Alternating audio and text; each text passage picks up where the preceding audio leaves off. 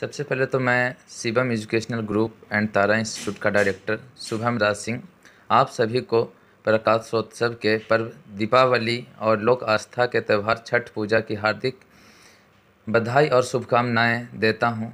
माँ लक्ष्मी आपके द्वार विराजे और आपके हर बार और जीवन में अपार खुशियाँ और समृद्धि आए। वहीं आप सब पर भगवान भास्कर की कृपा बनी रहे। छठी मैया आपके सारे अरमान पूरी करें और सारे जग में आपका मान सम्मान बढ़े। और फिर मैं एक बार Shivam educational group and Tara institute के तरफ़ से जहानाबाद वासियों को और प्रदेश वासियों को एक बार फिर से दीपावली और छठ की हार्दिक बधाई और शुभकामनाएँ देता हूँ। धन्यवाद। नमस्कार, आप देख रहे हैं एस टी बिहार न्यूज़। अभी मैं मौजूद हूँ जहानाबाद में। जहानाबाद के Shivam education group and Tara institute में हूँ मैं अभी। और हमारे साथ यहाँ के डायरेक्टर शुभम राज सिंह जी हैं। तो आइए शुभम राज सिंह जी से जानते हैं कि ये इंस्टीट्यूट जो है, ये कहाँ कहाँ पे है और इसे खोलने के पीछे इनका क्या उद्देश्य है, ये जानने की कोशिश करते हैं। आइए। जी स्वागत है आपका हमारे चैनल में। नमस्ते मैडम। ये बताइए कि ये जो आप फर्मा को लेकर के तारा इंस्टीट्यूट जो आप खोले हुए हैं ये बेसिकली क्या फर्मा के लिए लोगों के लिए है या फिर कुछ और भी इसमें एजुकेशन देते हैं जैसे मैं जो हम लोग का नर्सिंग सेक्टर है उसको लेकर के पहले मैं इस चीज़ को ओपन ओपन किया।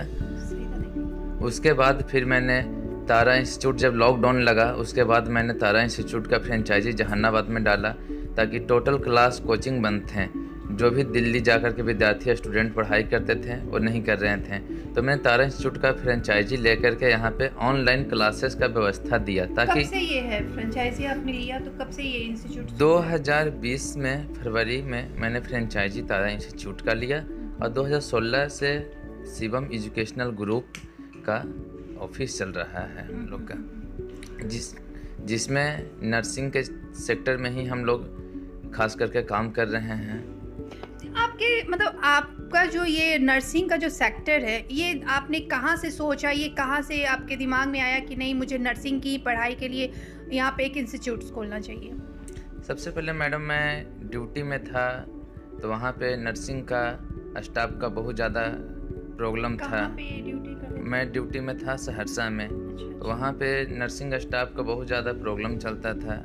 वहीं पे मैंने सोचा मंथन किया कि भाई नर्सिंग के सेक्टर में यदि हम लोगों को एजुकेशन दिलाते हैं तो कहीं ना कहीं अपना करियर भी इसमें है और लोगों का भी करियर नर्सिंग के सेक्टर में बेहतर है। अपार से अपार संभावना है नर्सिंग के सेक्टर में। तो यहाँ पे आप एजुकेशन किस तरह से दिलाते हैं?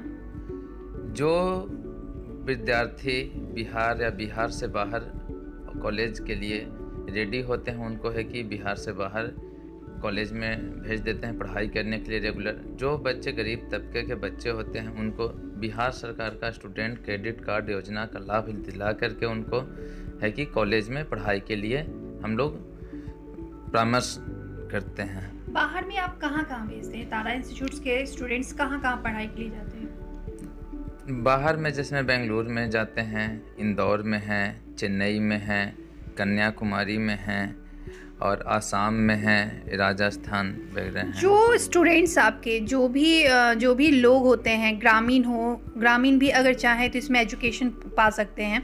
तो उन लोगों के लिए कुछ खास व्यवस्था जो आपने कर रखी हो? अभी मैंने दीपावली और छठ पूजा के अवसर पर ग्रामीण क्षेत्र के ही लोगों के लिए और जहानाबाद बिहार वासियों के लिए हमने व्यवस्था दी है। न्यूनतम से न्यूनतम फ़ी में नर्सिंग में जाने का हमने ऑफ़र दिया है। क्या न्यूनतम फ़ी आपने रखा है? न्यूनतम फ़ी हमने रखा है मात्र एक जो भी पहले फ़ी था नर्सिंग का उससे थर्टी परसेंट डिस्काउंट हमने थर्टी परसेंट डिस्काउंट रखा। एक आप बता सकेंगे हमारे चैनल के द्वारा कि कितना फ़ी मतलब आपका एडमिशन चार्ज क्या लगता है? हम लोग का ऐसे रेगुलर रेगुलर का एडमिशन जो जो बिहार के बाहर कॉलेजेस थे उनका तीन लाख पच्चीस हज़ार चार्जेस था जो कि अभी टोटल कंप्लीट करके ढाई लाख में ही हम लोग पूरा कोर्स पूरा कोर्स कंप्लीट करवा रहे हैं रेगुलर का। रेगुलर मतलब ये पूरा कोर्स ढाई लाख में कंप्लीट आप ढाई लाख में तीन साल ऑफ़र में चल रहा है। ऑफ़र में चल रहा है मैडम ये दीपावली और छठ का इसके बाद का क्या होगा आपका? इसके बाद फिर वही है जो पहले जो रेट था हम लोग का तीन लाख पच्चीस हज़ार वही। पेमेंट ऑफ़ मोड आप किस तरह का रखे हुए हैं? इजी सहूलियत हो लोगों को?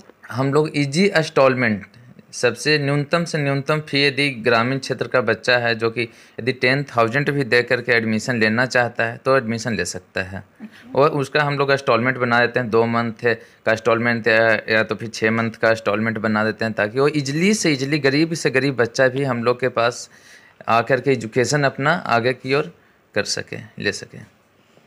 महिलाओं की सुविधाओं के लिए क्योंकि बहुत सारी महिलाएँ जो कि फर्मा में जाना चाहती हैं उनको लगता है कि उनके लिए नर्सिंग बेस्ट ऑप्शन होता है। तो उस तरह की महिलाओं के लिए क्या कुछ आप नया कर रहे हैं? महिलाओं के लिए ही नर्सिंग के क्षेत्र में 90 परसेंट लोग महिला ही जाती हैं। इनके लिए है कि जो महिला यदि कॉलेज नहीं जा पाती हैं रेगुलर उनके लिए है कि हम लोग, उनका तैयारी के लिए हम लोग ऑनलाइन व्यवस्था कर रखे हैं, जो कि अपना घर बैठ कर के ऑनलाइन क्लास कर सकें, उनका तैयारी कर सकें। और महिला 90 परसेंट महिला ही नर्सिंग के क्षेत्र में जाती है और नर्सिंग के क्षेत्र में अपार संभावनाएँ हैं। ऐसा एक भी लोग आज के डेट में नहीं है, जो कि नर्सिंग के सेक्टर में आ करके वो बेरोजगार रहे। एक भी बेरोजगार नहीं है नर्सिंग के क्षेत्र में आने के बाद। कि आप शुभम एजुकेशन ग्रुप के डायरेक्टर हैं। साथ ही साथ आप तारा इंस्टीट्यूट का फ्रेंचाइजी भी लिए हुए हैं। तो आपके जितने भी स्टूडेंट हैं और जहानाबाद के जितने भी नागरिक हैं, इनसे आप क्या कहना चाहेंगे? जो पर्व आ रहा है उसके उपलक्ष्य में। सबसे पहले तो मैं Shivam educational group and Tara institute का डायरेक्टर शुभम राज सिंह, आप सभी को प्रकाशोत्सव के पर्व, दीपावली और लोक आस्था के त्यौहार, छठ पूजा की हार्दिक बधाई और शुभकामनाएँ देता हूँ। माँ लक्ष्मी आपके द्वार विराजे और आपके हर बार और जीवन में अपार खुशियाँ और समृद्धि आए। वहीं आप सब पर भगवान भास्कर की कृपा बनी रहे। छठी मैया, आपके सारे अरमान पूरी करें और सारे जग में आपका मान सम्मान बढ़े। और फिर मैं एक बार Shivam educational group and Tara institute के तरफ़ से जहानाबाद वासियों को और प्रदेश वासियों को एक बार फिर से दीपावली और छठ की हार्दिक बधाई और शुभकामनाएँ देता हूँ।